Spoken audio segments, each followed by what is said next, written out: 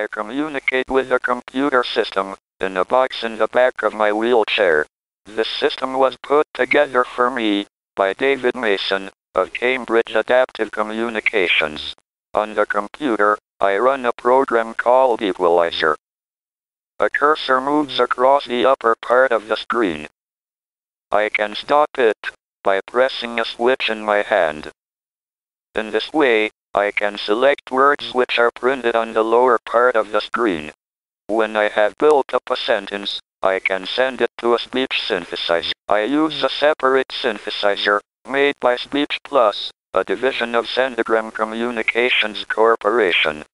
I can save what I write on disk. I write papers using a formatting program called TeX. I can write equations in words, and the program translates them into symbols, and prints them out on paper, in the appropriate type. I can also give lectures. I write the lecture beforehand, and save it on disk. I can then send it to the speech synthesizer, a sentence at a time. It works quite well, and I can try out the lecture, and polish it before I give it. In a similar way, I can make a CD-ROM.